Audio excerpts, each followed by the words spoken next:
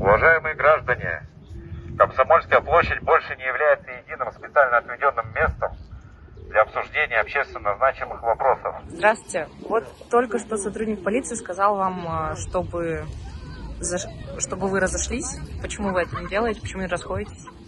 А почему я должен расходиться? Я в своем, в своей стране, в своем городе, на своей площади. Halt, Ausweis, партизан, будем маленько вешать. Ну, Пон- тех фашистов не боялись, а этих не боимся. Вы сегодня с футболкой Немцова? Да, вчера был с Навальным. Так подошли ко мне, только, говорит, расстегнешься и уедешь сразу в тюрьму. Ну, я так э, маленечко расстегнулся, журналистам показал. А сегодня уже демонстрации нет, никого не провоцирую. Расстегнулся и... Кстати, это Борис Немцов, кто молодежь не знает. Человек порядочный, был в правительстве, его убили. Якобы каких-то там э, нашли стрелочников, а кто заказал убийство, ну, ясно, кто заказал. И до сих пор молчок.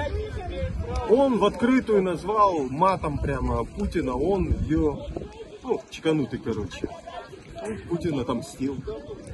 Сергей, здравствуйте. Здравствуйте. Вот сейчас мы куда-то движемся. Расскажите, куда и почему. Ну, вы знаете, получилась ситуация какая. Раньше мы, когда гуляли даже по городу, мы гуляли по одному маршруту. Комсомольская площадь, э, площадь Ленина.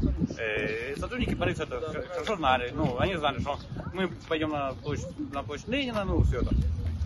Но связи со вчерашним задержанием, как бы, таким грубым, потому что это по-другому не назовешь, ну, и без всякого предупреждения, без всякого требования, просто грубое задержание, ну, мы решили просто гулять по всему городу уже, как нам э, захочется.